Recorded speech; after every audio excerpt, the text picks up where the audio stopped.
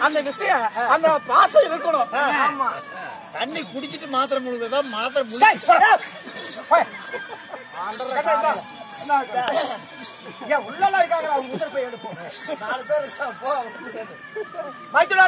ஆயிரம் முறை சொன்னாலும் சரி. என்னுடைய மகள் உன்னுடைய பொண்ணு கொடுக்க முடியாது. என்னை பத்தி கேவலமாக பேசு. என்னுடைய மனைவியை பத்தி கூட கேவலமாக பேசு. ஆனா என்னுடைய மகன் விநாயகர் இருக்கிறானவா விநாயகரை பத்தி கேவலமாக பேசிவிட்டால் எனக்கு காங்கூரமானது கோபமானது கவலைப்படாதீங்கப்பா என்ன பா? எந்த இருந்தாலும் சம்மந்தி விட இல்லையா? நாளைக்கு உங்களுக்கு குடும்பம் என்ன சம்பந்தம்? பேசு முடியாது ஐயா, மாமா கொடுக்க முடியாது. ஏங்க, நடுவுல அந்த பேரல உடச்சு போடாதீங்க? அப்ப இருப்பா கொஞ்சம் நடுவுல அந்த பேரல உடச்சு போடாதீங்க. மகனை யாரை யாரு பெத்து வச்சுட்டு கருவாண்டு கூட என்ன மயில் கொடுப்பாங்க. கருவாயா? ஆனா, அறிவு கட்ட மாமா கம்முனு மாமியை கட்ட போனவன். ஏய், மத்தால் தின்னவன். வீட்டுக்கு மனுஷ மந்திர தெரியலாமா பெருமாள் அடி எப்ப எப்படிப்பட்ட? அது அது எங்களுக்கு தெரியாதா? என்.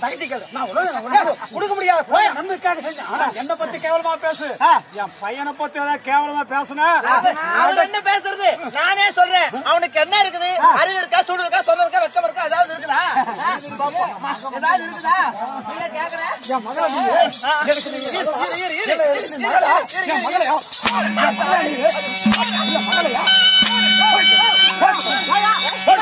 என்ன இடத்துல வந்து என் மறுமொழியை கண்டுபிடிச்சா பொண்ணு கொடுக்க முடியுமா? கொடுக்க முடியாது ஐயா ஏப்பா மகனே, நீ வந்தா நீ பஞ்சாயத்து தலைவர் நீ நீங்க யாரு அவருக்கு மைத்துரன் அவர் உங்களுக்கு யாரு மச்சனம், மைத்துனா மச்சனம் மச்சனம் என்ன பண்றீங்கல்ல ஆமா வாயிலே பேசுறது என்ன அர்த்தம் ஏ நீ எதுங்க பேசுங்க அடிபட்டுருக்கியா ஏய், போடா அண்ணா செலவாருண்ணா யார் செல்லவாரு? நானா? ஓடாதீங்க மாயவா அல்ல ஆயிரம் வார்த்தை சொன்னாலும் சரி என்னை பத்தி கேவலமாக பேசினாலும் சரி என்னுடைய மகனாகிய முதல் இரண்டாவது குழந்தையா முருகனை படுக்கிற கேவலமாக பேசு. ஆனா விநாயகரை பத்தி கேவலமாக பேசவே பேசக்கூடாது. ஆயிரம் முறை சொன்னாலும் சரி என்னுடைய மகனுக்கு உன்னுடைய மகனை பொன் கொடுக்க முடியாது. சோறு கண்ட இடமெல்லாம் சொர்க்கமாகிட்டு அரச மர கண்ட இடம் அடுத்து படுத்து தூங்கிட்டு இருக்கிறான்.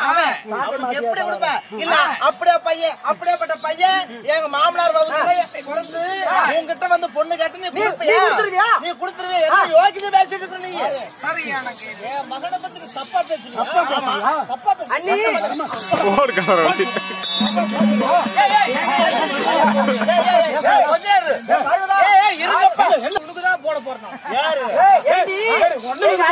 அறிவில்லனா நீயே தட்ட தூக்கிட்டு வந்துட்டியே. அந்த யானை மூஞ்சிக்காரனுக்கு என் பையன் பொண்ணு கேட்டு பேசாத. கேவலமா பேசாத. அட இருங்கப்பா நான் இல்லன்னா ரெண்டுல ஒண்ணு பாத்துருவோமா?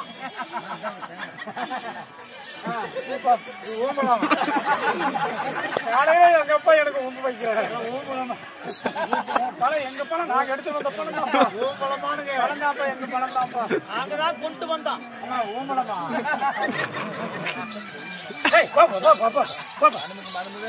ஆமா, சொல்லுகிறேன். தர்மத்தோடு பேசுறேன் நீதியோடு பேசுகிறேன் என்னுடைய மகனாக வந்திருக்கூடிய அந்த விநாயகருக்கு உன்னுடைய மகனாக சிந்திர கொடுப்பாயா இல்லையா ஆயிரம் முறை முடியாது. ஆயிரம் முறை சொன்னாலும் சரி. என்னுடைய மகள் கமல சுந்தரியை உன்னுடைய கிணத்துல கொண்டு போய் தள்ளினா. உன்னுடைய அந்த கையிலாவாதவனுக்கு தான யானை முகத்தவனுக்கு தரமாட்டேன்?